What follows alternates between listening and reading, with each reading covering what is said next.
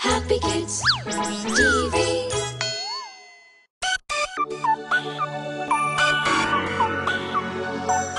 Hi, my name is Ray. Me and my friends Dodie, Mimi, and Faffles, we love to come to this wonderful library. Over there, on that great book, is Grand Old Holy. She's really old and wise and tells us wonderful stories. When she's awake, that is. Let me tell you the story of how Santa became Santa. A long time ago, in a village far away, was born a boy named Nicholas. He grew up to be a very kind and generous boy. At a very young age, Nicholas joined the church. Nicholas gave special attention to the children of his village, and they were very fond of Nicholas. Nicholas became well known throughout the land as a kind and wise young man. He was soon named a bishop of the church. Nicholas wore a long red robe with a red hat, and he traveled on horseback. At every village, happy children would spot his bright robe from a distance and gather on the road to greet him. In one village, Bishop Nicholas heard the sorrowful tale of a poor old man and his three young daughters. The man could no longer feed his daughters, and he feared he would have to send them away from him. Nicholas knew he could help this family. That night, while the whole village slept, Nicholas crept up to the hut where the three sisters lived. He climbed up to the rooftop to find the chimney. There, Nicholas dropped three bags of gold, one by one, down through the chimney. Earlier that day, the three sisters had hung their newly washed stockings by the fireplace to dry. Each small bag of gold that Nicholas dropped fell into one of the stockings below. The next morning, the girls were overjoyed to find gold coins in their stockings. Father, They called, running to wake him. we have received a magical gift. As the story of these three sisters spread from village to village, other people began to hang their stockings by the fire, hoping to find a secret gift when they awoke the next morning. Bishop Nicholas enjoyed surprising people. He began to deliver his secret gifts of hope and joy only at night, while his friends were asleep. For all of his good deeds, Bishop Nicholas was honored as saint who looks after all children. People all over the world began to celebrate Saint Nicholas Day, which fell on December 6th. They hung their stockings by the fire the night before and awoke the next morning to find them filled with candy, fruits, nuts, or toys. Soon, people began to celebrate St. Nicholas's good deeds on Christmas Day. Now, people know him as Santa Claus. A true hero of the people, St. Nicholas still delivers his magical gifts of hope and joy each year at Christmas time. Oh, I didn't know this story. So Santa was Nicholas? How cool! I know Santa loves little children, and we love Santa too.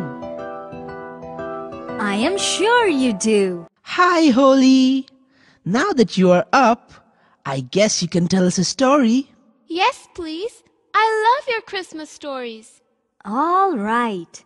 Today's story is about a very wise king. A long time ago, there lived a very wise king who knew all about the ways of animals, birds, and trees. Now, one breezy day, a tiny bee lost her way and flew right into the king's beautiful palace. The little bee begged the king. Please let me live, and I will serve you someday. The king was amused to think a tiny bee could one day serve such a mighty king. He released the bee and said, Go, be on your way, for I need nothing more from you today. Many days later, the queen came to visit from a faraway land. She heard many people claim this king was very wise. She had to know for sure that this was true. She came with many gifts. After a show of friendship, she finally asked. I hear you're wise. She said, Would you be willing to put your wisdom to a test? The king agreed, and she did her best with riddles, tricks, and difficult tests. One day, she gave the king a large gemstone, and through the very middle was a tiny twisty hole. Let's see if you can put a thread through this gem. She challenged the king with a devious grin. But the king asked a silkworm to climb through the hole, which is not a big problem for a tiny silkworm. And as it did, a thin thread of silk followed the silkworm all the way through. Now the queen was quite angered at the king's show of wisdom, and all the more determined to find a way to trick him. We must have a test She challenged her advisors. to prove this king's a fool. They came up with a plan that would not fail. They ordered the queen's craftsmen to make 99 fake but real looking flowers. When finished, even the queen could not tell they were fake. And then from the king's garden, she took just one real flower and cleverly hid it among all the others. Tomorrow, we will make the wise king look foolish. During the party that's held in his honor, we will test the king to find the real flower. The next day, the people gathered from all over the land to attend the party. Then, right after the meal, the queen stood and spoke. Listen, everyone. I have something to say. Just one more test to give the king today. My craftsmen have created many beautiful flowers. They all look real. 99 are fake, but one is real. Can the king find that one? The king accepted the challenge she handed to him. He sniffed at the flowers, but they all smelled so sweet, and all of the flowers were as soft as could be. The king became a bit perplexed and did not know what to do next. Suddenly, he heard a faint buzzing sound. It was the tiny little bee he saved many days ago. I'm here at your service, sir. I'm here to repay your kindness one breezy day. The tiny bee quickly flew over the flowers and in no time at all found the real flower. The king stooped down and plucked the flower. Here is the real one. He handed it to the queen to see, and the craftsman confirmed it was the real one indeed. Finally, the queen had to give in and admit that this king was truly the wisest there ever had been. This was King Solomon, the son of David. When Solomon prayed for wisdom instead of riches, God had said, I will do what you have asked.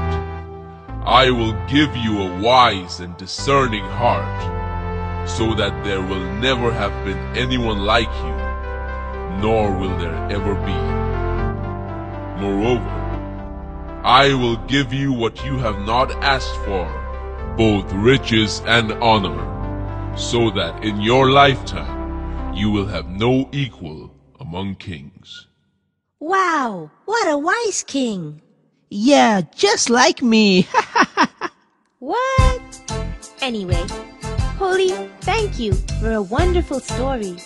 King Solomon really was wise and clever.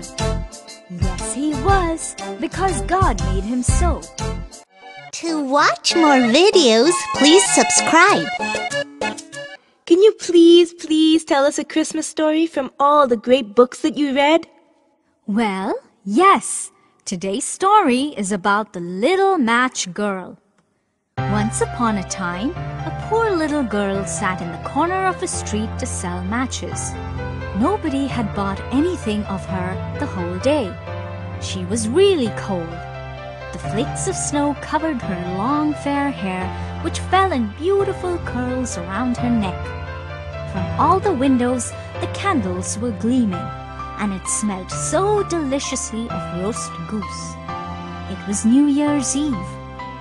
The poor girl could not go home since she had not sold any matches. Her little hands were almost numb with cold. Oh, a match might warm me. She said. She drew one out. It was a warm, bright flame, like a candle, but soon the small flame went out. She had only the remains of the burnt out match in her hand. She lit another, and where the light fell on the wall, there the wall became transparent, like a veil, so that she could see into the room.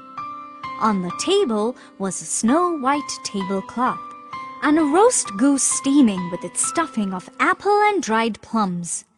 Suddenly, the steaming goose hopped down from the dish, with knife and fork in its breast, till it came up to the poor little girl. Then the match went out, and nothing but the cold, damp wall was left. She lit another match. Now, there she was sitting under the most magnificent decorated Christmas tree. Thousands of lights were burning on the green branches. The little maiden stretched out her hands towards them. Then the match went out.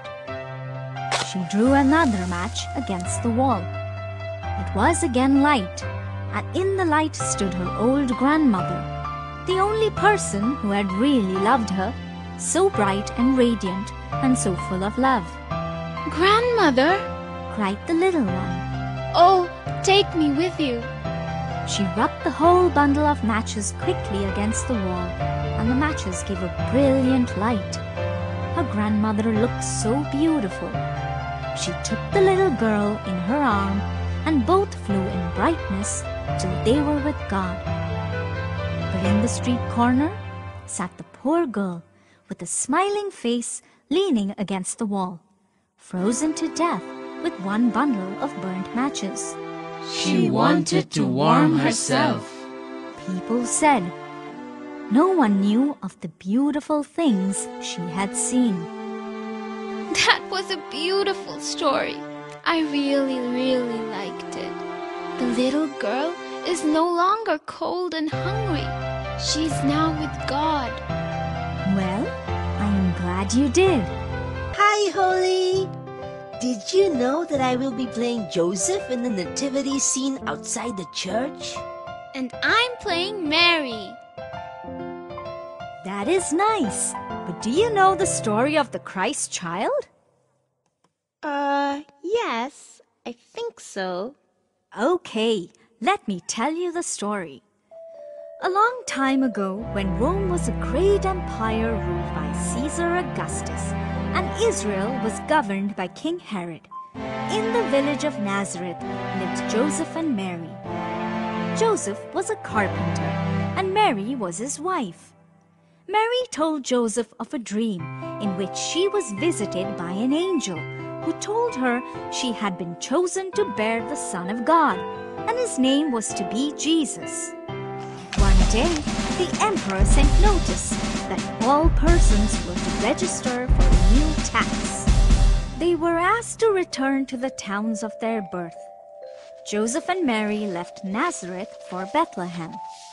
Mary, who was with child and close to the birth, rode on a donkey while Joseph walked beside her. They traveled for many days and only rested at night.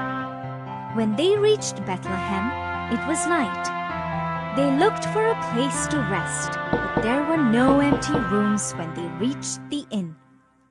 As they were being turned away, Joseph mentioned his wife was with child and close to birth. The innkeeper took pity on them and told them of some caves in the nearby hills where shepherds would stay with their cows and sheep. So Joseph and Mary went up into the hills and found the caves. In one cave was a stable room. Joseph cleaned it and made beds of fresh hay. He found a feeding trough which he cleaned and filled with hay to use as a crib. The next night, Mary gave birth to a son, and they named him Jesus, as the angel had said. When the child was born, a great star appeared over Bethlehem that could be seen for miles around. In the fields nearby, shepherds were tending their flocks. An an angel appeared to them, surrounded by bright light. The shepherds were frightened and tried to run, Fear not, said the angel. for I bring you tidings of great joy. For unto you is born this day in Bethlehem a Savior who is Christ the Lord. And this shall be a sign unto you. You shall find the babe wrapped in swaddling clothes and lying in a manger. Suddenly, the sky was filled with angels, praising God and saying, Glory to God in the highest, and on earth peace, goodwill toward men. After the angels departed, the shepherds set out for Bethlehem. When they reached the cave, they found the stable, and inside was the child wrapped in swaddling clothes. As the star shined over Bethlehem in the east, three kings would see it. They knew it was a sign, and they set off to follow the star. There was Caspar, the young king of Tarsus, Melchior, a long bearded old man and leader of Arabia, and Balthazar, the king from Ethiopia. They traveled on camels for many days over the mountains and through the deserts and plains, always following the bright star. When they finally arrived in Bethlehem, they found the child in the manger. The three kings bowed to their knees and offered gifts of gold, frankincense, and myrrh. They would stay the night in the cave and the next day return to their lands to spread the news. Oh, wow! The Christ child born in a stable? And the three wise men traveling all the way to see him by just following a star? How cool is that? Yes, it was worth it for them since they got to see the Savior, Christ the Lord. Hmm, children, you should be happy with whatever you get because some children don't get anything. Let me tell you the story about little Gretchen and the wooden shoe.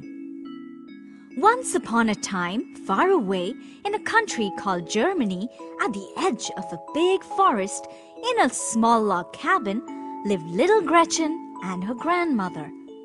Gretchen and her granny were up early each morning to collect twigs and branches to sell in the village.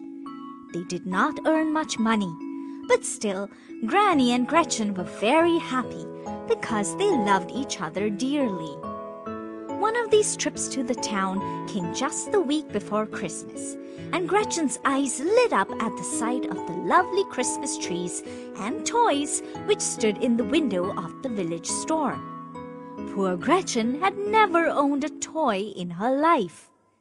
That night, after the supper, she said to her grandmother, Granny, it's almost Christmas time. What do you think I'll get this Christmas? she said, looking up eagerly into Granny's face. Dear child, Said Granny, shaking her head. you'll have no Christmas this year. We are too poor for that. Oh, but Granny, Interrupted little Gretchen. surely Santa has sent enough toys for every little child. Ah, sweetheart, Said Granny. We have no money to spend on Christmas toys. Well, Granny, Said Gretchen, her bright, happy tone of voice growing a little less joyous.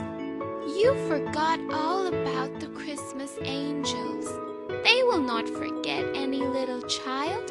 Tonight, I will ask my favorite star to tell them about us.